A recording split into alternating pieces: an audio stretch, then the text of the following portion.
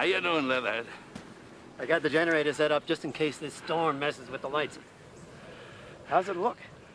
Well, it looks great. I've been thinking about some of those missions we The plane been fueled. Yep. And I'll be here just as long as you need me.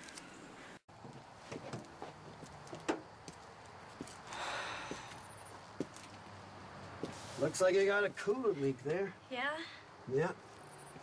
See here? It's coming from your radiator. Uh, can I still drive it?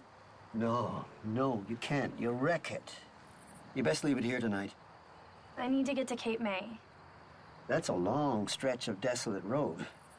It's up to you, but I'd leave the car here tonight. I can get a part for you by tomorrow. Okay, just give me a second, okay? Take your time. Tomorrow night, the fennel goes in your stew, right? Leave Papa Claude out of it. But everyone hates fennel. Precisely. If I lose, does Father Connor still get the million dollars? Listen, $450,000 last time I checked bought a lot of roofs over your heads. All right? I mean, beggars can't be. I don't know.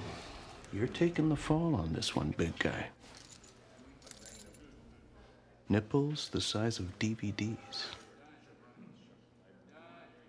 Hmm? Huh? Are you all right, boy?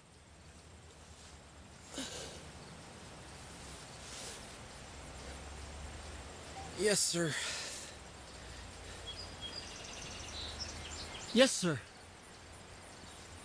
I believe I am. You look like a likely lad. If you're not afraid of hard work, I have a job for you picking apples in my orchard. Hard work, sir? I've no fear of it at all.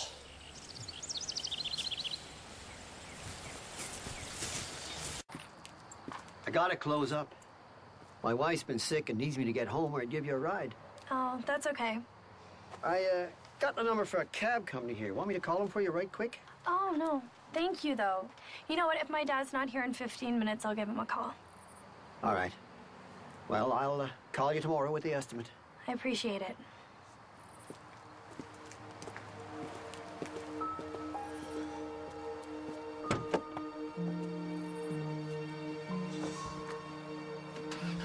Toward the end, she became upset and tears rolled out of the corner of her eyes. And when I asked her what was wrong, she tried to speak, to answer me, but she was unable to tell me anything. My first inclination was to do what I've always done in emotional situations recede, be understanding, and withdraw, mollify and try and make things better, but protect myself extricate myself without risk or self inflicted damage, avoid the emotional unknown, make everything better without taking a chance. I was surprised to find her so vulnerable, so different from what I'd known in the past.